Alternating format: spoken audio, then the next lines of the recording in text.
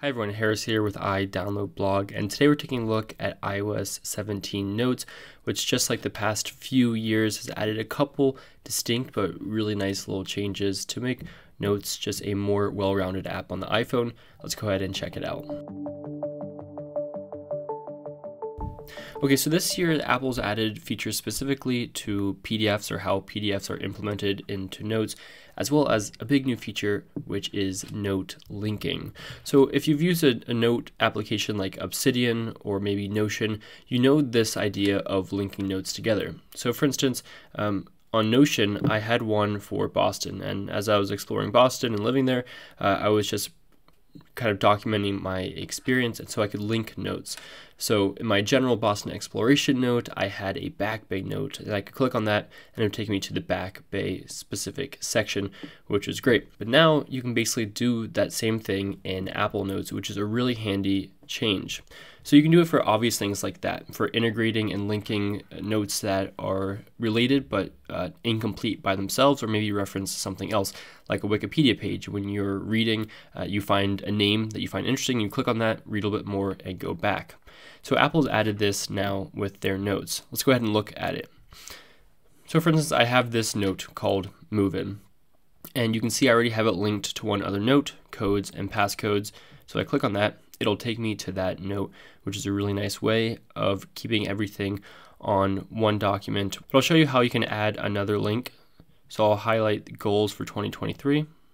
I'll go over and do add link. Now this is a little bit confusing because add link is the same text as when you would just want to add a URL, but Apple's using this as well for note.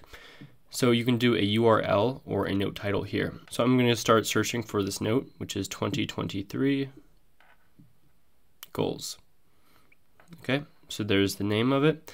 And then I can use the note name as title or use the existing text as the title for that, how it appears. I'll click done. And now, if I click on that, it'll take me to that note. Obviously, this is not a totally real uh, note. So you can use this in several ways. So I showed you in Obsidian how I used it for Boston. And I went ahead and copied that right into my Apple Notes. So if you see if I go down here to Boston Exploration, I did the same thing and I can click on Back Bay and it will take me no, I forgot. For some reason, it takes me to this app. So I need to go in here, highlight it, and I need to edit that link. For some reason, it yeah, I guess where Obsidian wants to take me is different than where the iPhone wants to take me. So I'll put in Back Bay. And there we go. And now when I click Back Bay, it'll take me to Back Bay, which is great. Now what I don't like is that there's no way of going back to the previous note. So you saw in Obsidian how I had the ability to click the back button and this will take me to my previous note. You can't do this. It would have been really nice if they have that back button up top like they do when you switch applications because of notification or just some way of going back to another note, but you don't have that.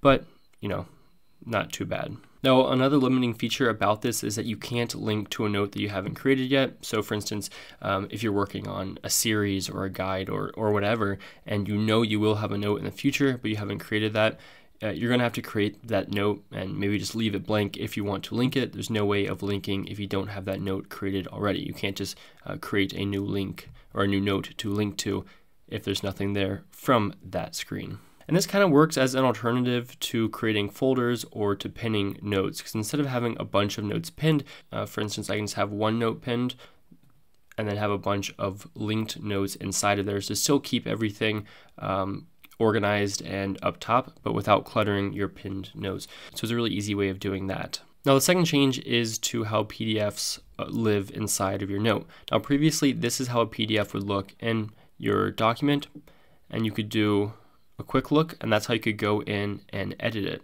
But now if you have a PDF, you can actually change the size. So you can view as small or medium or large and you can zoom in and out so you can have a view without having to leave this screen. You can just view it right from there. And you can also annotate right from here. And so I pulled up another PDF here. And what's nice is that you don't have to go into the quick look in order to modify this. You can do it right from this tool right here and you can start marking it up or circling things or highlighting or whatever you need right from there. And it will actually save without having to leave your previous screen. And then if you want to share this, you can click the share button right there, or the copy, or the rename, or whatever you need. And then you can also rearrange by holding this button up here and moving it wherever you want. A little sloppy, but you get the point. So this is notes for iOS 17. I think the note linking will be a really great way for people to manage um, and organize their notes. You don't need to pin as many things and you don't need to create as many folders. You can just link things to each other to stay organized. I hope Apple does implement an arrow button system, and it would be nice if you can have your PDF implemented vertically instead of just horizontally where you're sliding sideways. But it's still a pretty awesome change to both PDFs, being able to edit them and view them within your screen. Uh, and to note linking. So I think it's gonna be a really nice change for a lot of people. It probably won't replace Obsidian if you're using that or Notion, but I think it's a really good start. So let me know what you think about these changes, and I'll see you in the next video.